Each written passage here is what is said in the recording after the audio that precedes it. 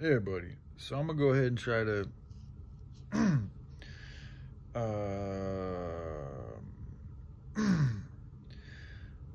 so yeah, with me not wanting to speak, like um, it wasn't like uh, a lot of it is because I feel like I get myself in trouble because I end up speaking too much on things that I feel extremely passionate about, and but it's like I I can't you know it's obviously, I mean, I feel like everybody, like the first time I watched a documentary on Darfur and I saw what was going on in Africa with that, that situation in Darfur and to just know the extent of poverty and the issues and the fact that it's like literally a, I, I mean, it's, there is like really no law or government. I mean, largely, and some parts are, are much better than others, but a lot of Africa, I feel, I could be, you know, I don't, I haven't done a lot of work, but what I feel is that a lot of Africa is, largely governed by warlords and like thugs and gangs and fucking criminals essentially. So like upon hearing that and seeing the devastation in Darfur especially and like and at the time I watched this when I was living you know I mean just anybody in America with all that we have is like it's a completely different situation than they have in Africa.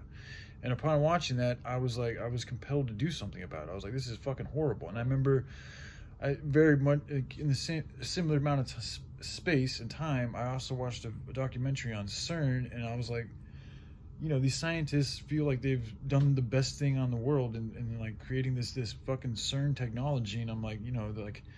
You know, there are children starving to death in Africa, and you guys are sitting here floating your boats like you've done the most, you know, miraculous thing in the planet, when it really still hasn't yet actually done anything that I've found to be even helping humanity. And, and, and it's cost a lot of fucking money.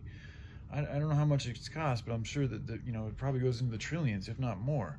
I could be wrong. It might not cost trillions, but it's got to cost at least millions. I'm sure billions and possibly trillions of dollars. so I'm bringing this up for a reason. The reason why I chose to say that I feel like the Most High doesn't want me to speak is because I was feeling extremely low in energy. Like my energy was fucking low as fuck. So I was like, well, you know, I, it, what happens to your body happens, you know, everything happens, even the bad stuff is ordained by, I feel, higher power. so if this is why like sickness, everything, you know, bad stuff that happens to you for whatever reason, it happened for a reason and it was ordained. So it's like, there's a, there's a, something to be learned out of the pain.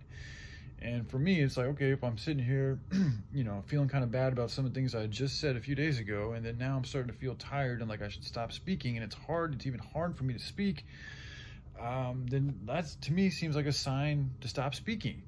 But it wasn't because I didn't want to work on things with a particular person or like trying to like, you know, hurt her or anything like that.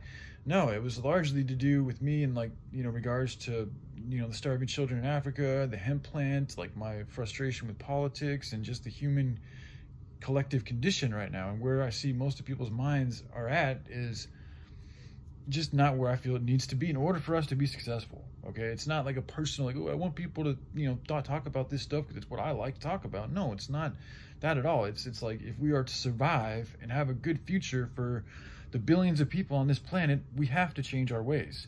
It's that simple. It's so when I fail to see people talking about this shit, and then I continue to see people saying, like, giving me excuses that I feel are just excuses, they're not actual fucking good reasons why more can't be done about this, it frustrates me, you know. But that, you know, when I react badly, I'm allowing those people that triggered me to have power over me. And I don't even think those people are trying to trigger me. They're just being themselves. And I'm reacting badly to how they are, which is also my fault. I shouldn't be acting in a negative way just because they're expressing who the fuck they are. I should just do my best to react as healthily as I can and share what information I've learned. And if it resonates with them and they want to change for the better, then then they can. If not, then that's their choice too. Um, so first off, I just want to just clear up that you know me saying that I feel like I need to stop speaking. It wasn't you know I feel like a particular person might have taken that as a slight towards her that's not what it is at all. Like, you know, if I was, you know, that's just not what it was. If I wanted to end things, I would have done my farewell, like, you know, I just thing like I usually do. So I didn't do that because that's not how I feel. I do want to continue, like, I would love to work on things with her. You know, I'm not going to be, I mean, there's obviously a lot that needs to be taken care of for both of us. You know, maybe not as much as we think, but there's definitely a lot that needs to get worked out. Um, but you know, I, when I look at everybody else, like you know, I think most if I feel like everybody's got stuff to grow on. So I mean, it's not like that.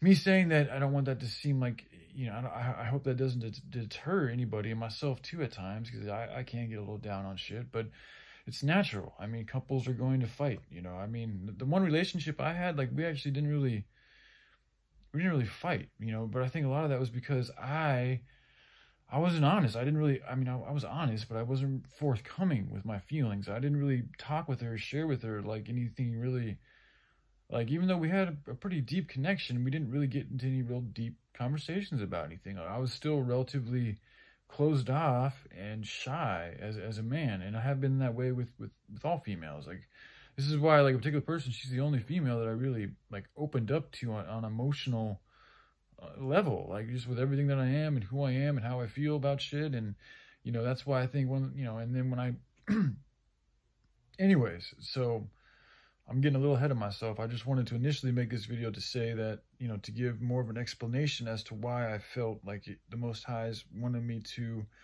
perhaps be a little bit more quiet or not speak up as much. And I think that from what I've gathered from my days of being a little bit quieter is that I just need to learn how to be a little bit healthier to um, to people who disagree with me in regards to like you know saving starving children and the planet and CO2, the politics, you know all that. Like I need to learn how to react a little bit healthier. And if I am to get this done, I can't continue like condemning and attacking people while trying to build this at the same time because that's just not going to work, you know. And so, um, anyways, I think that's good for now. I'll continue on um, a little bit later. All right, I love you guys. I'll take care. Bye.